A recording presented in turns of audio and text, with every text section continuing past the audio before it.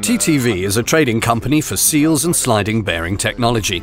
We're mainly active in the field of drive technology. The engineering takes place in Germany in Illertissen.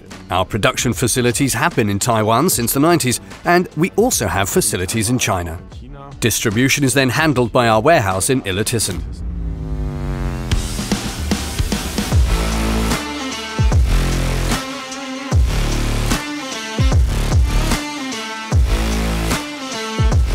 Für uns war der, der Anspruch, eine, eine We needed a partner to support our automation journey and explain AutoStore's capabilities.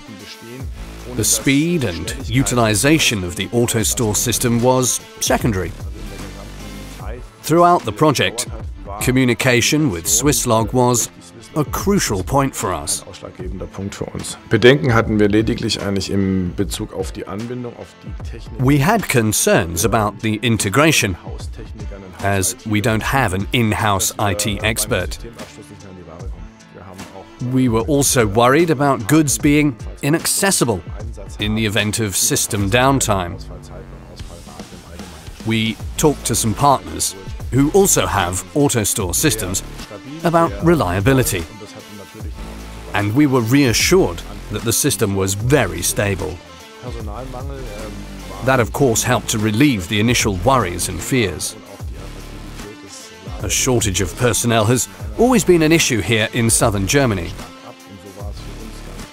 In my opinion, the appeal of working in a warehouse has declined sharply in recent years. So we implemented AutoStore to support personnel rather than to improve output or profits. The solution has now become a crucial asset in our daily work and picking process. Even after only two years, we believe investing in AutoStore enabled major business growth. The software integration works well for us, at least from my non software specialist perspective. I haven't received any technical complaints. So I think the middleware is the best way to connect our inventory management to AutoStore. I think small businesses who are being impacted by the labour shortage should consider automation.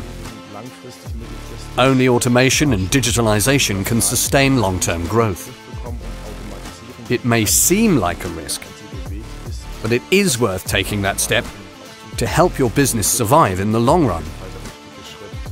Digitization and automation are essential for small and medium sized enterprises in particular. This is the only way we can keep up with the competition. mit dem Wettbewerb mithalten zu können.